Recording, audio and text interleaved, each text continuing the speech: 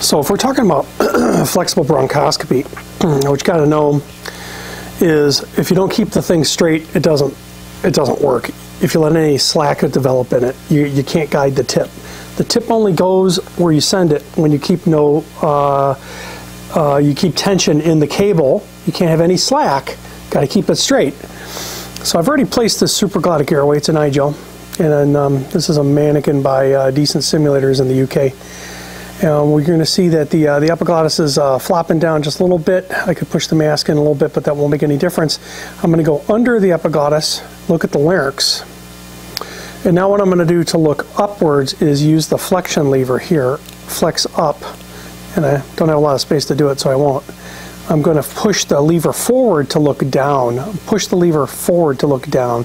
So sort of like in an airplane where you would push the stick or the yoke forward to make the airplane go down, you push this lever down to make the tip go down. I'm going to fly down to uh, the trachea, and I'm getting to the carina now. That's left main stem, bronchus, and this is right main stem, and you can see I'm kind of turning the handle and I'm flip, um, flexing the scope. I'm pulling, I'm pushing down on the lever, sort of like I'm pulling back on the uh, the the um, the control stick or the yoke of an airplane to make the the airplane go up.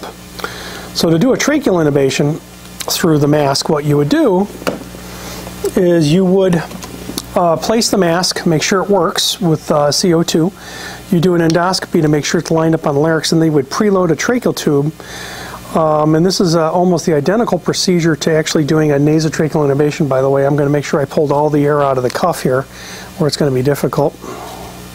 Okay, that's going to all the air is out. I'm going to put this into about 16 centimeters, not very deep. I don't want it to come out of the supraglottic airway, the iGel, until time comes. I'm going to go ahead and place this now and past the um, distal uh, hole of the tracheal tube and I'm going to do the exact same thing I did before. I'm going to go ahead and I'm going to push forward, push up on the lever to look down, fly down to the carina, and then I'm going to switch hands and I'm going to give the roll on the power and give the tube a leftward twist as I place it.